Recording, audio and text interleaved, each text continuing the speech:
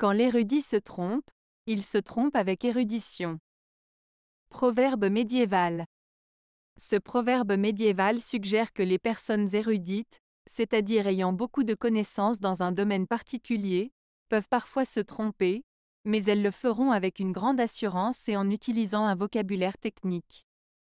En d'autres termes, leur erreur sera mise en avant avec autant de soin que s'il avait raison, témoignant de leur haut niveau de connaissance, même s'ils n'ont pas toujours raison.